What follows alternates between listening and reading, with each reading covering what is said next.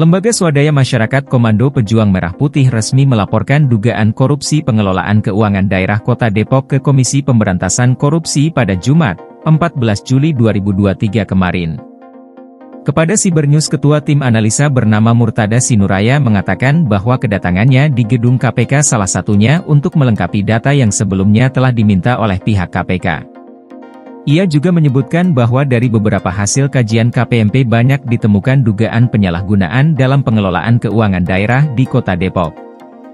Tidak menyebutkan secara jelas tentang persoalan apa yang dilaporkan kepada Komisi Pemberantasan Korupsi, namun, Sinuraya memiliki harapan agar pihak KPK menindaklanjuti secara tuntas dan sesegera mungkin.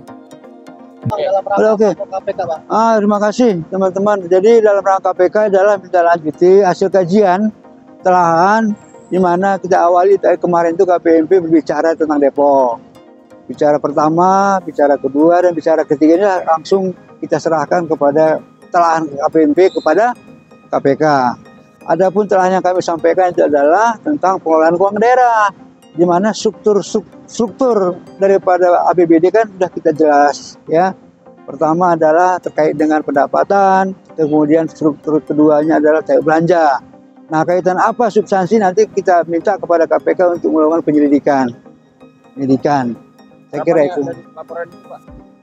Harapannya dari pelaporan. Harapan harapannya tadi dari hasil wawancara atau diskusi para para pihak di, di, di, di KPK ya kami mengharapkan sekali secara tuntas cepat segera mungkin.